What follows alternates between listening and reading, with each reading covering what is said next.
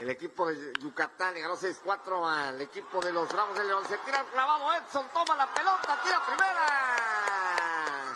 Jugador Edson García.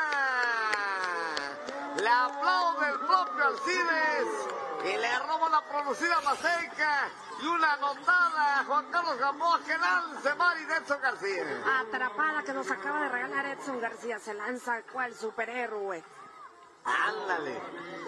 Ahí volando por los aires, tomando la pelota porque además